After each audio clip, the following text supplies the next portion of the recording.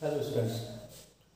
In the last class, we discussed about the centrifugation and what are the uh, mm, centrifugal field and what is the relative centrifugal field. Uh, we discussed in the last class. Today we discuss some of the more, more terms we have not discussed yesterday uh, related to the centrifugation.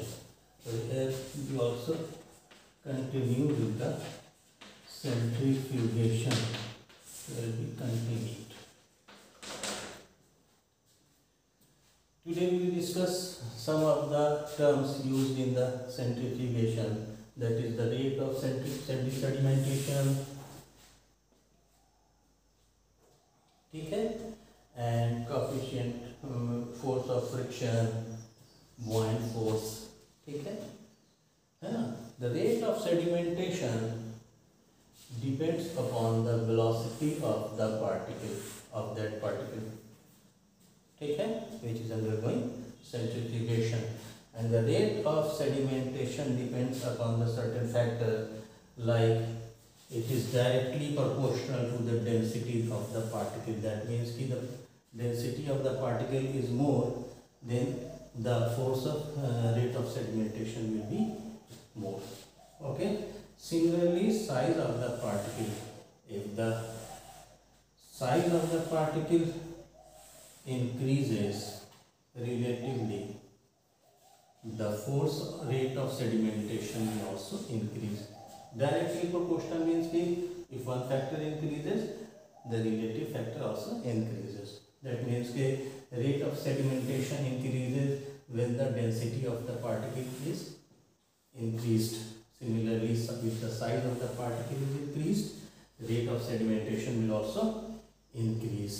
ठीक है Similarly, the rate of sedimentation will definitely be directly proportional to the centrifugal force because it is the centrifugal field or centrifugal force that is uh, applied in the uh, during the centrifugation for the separation of the so centrifugal force is product of the mass of the particle and the applied centrifugal field. That means ki in omega square r. But it is opposed by the coefficient of friction. The rate of sedimentation is inversely proportional to the coefficient of friction of the medium. The force, the frictional force ठीक है that is the frictional coefficient is relative term ठीक है तो coefficient of friction when coefficient of friction increases the rate of sedimentation will decrease ठीक है similarly this rate of sedimentation one of the factor is force of friction so coefficient of friction and coefficient of friction is related to the force of friction ठीक है force of is the friction force applied between the two uh, medium particles which opposes the movement of these two particles against each other. That is the frictional force. So that means that if the particle is moving downward, the frictional force will uh, applied upward will be acting upon the particle against the direction of the movement of the particle. So if the particle is moving in, the, in, in this direction, the force of friction will act in this direction. Okay, so this will uh, opposes the rate of sedimentation. So there are two forces which opposes the force of filtration, uh, sedimentation. One is for force of friction and another one is buoyant force. Okay, that is the force force which is uh, that is the force of buoyancy, the buoyant force. Explained over here, that, is, that means that it acts against the sedimentation. It opposes the sedimentation or opposes the rate of sedimentation, ठीक है? And force of friction is the product of velocity of the particle and the coefficient of friction. ठीक है? Coefficient of friction is directly proportional to the size of the particle and the shape of the particle.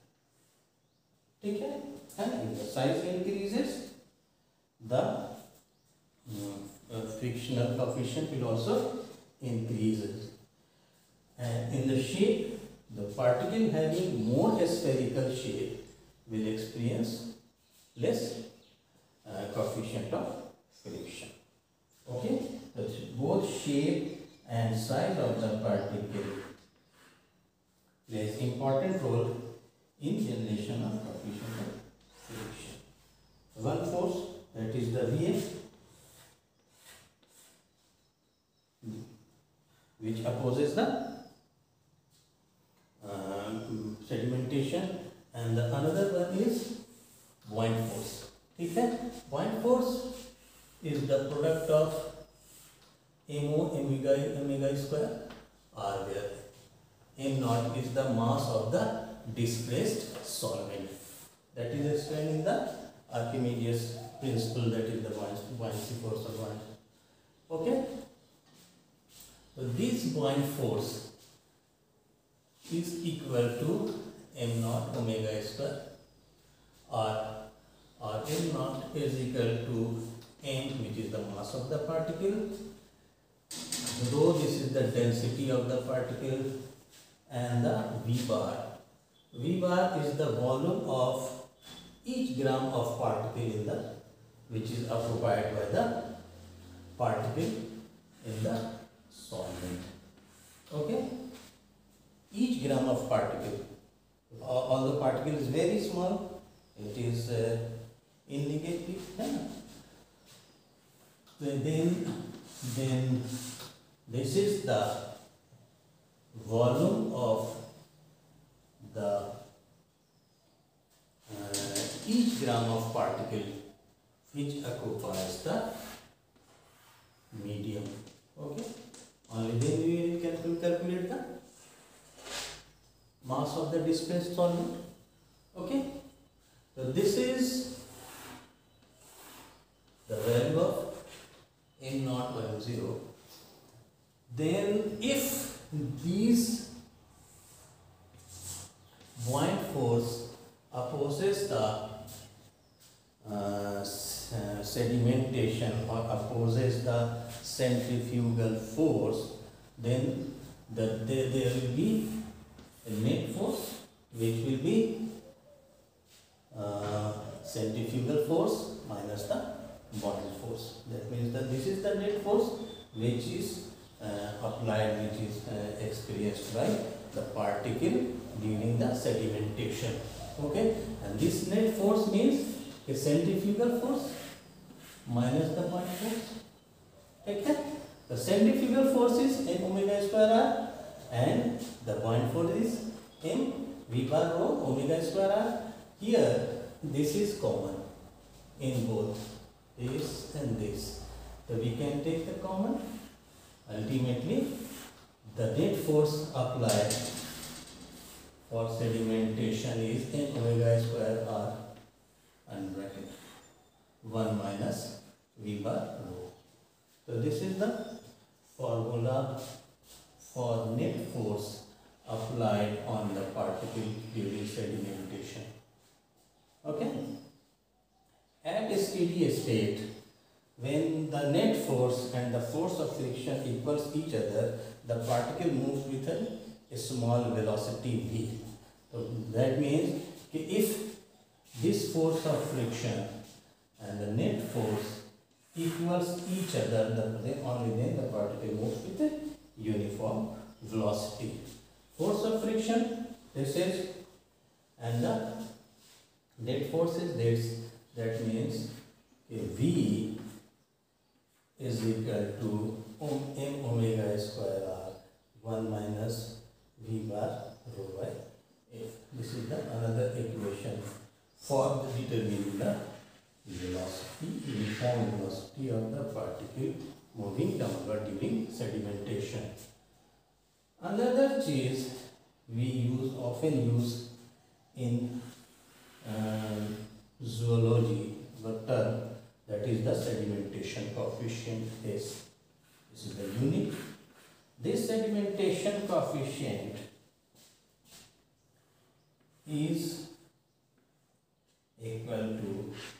v by g where v is the velocity and the g is the gravitational field. Okay? And that means we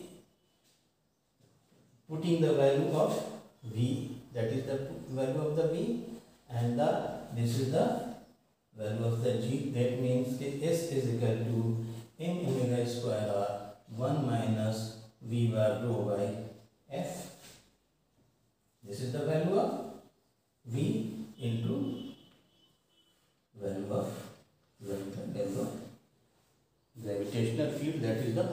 square r. So this this will be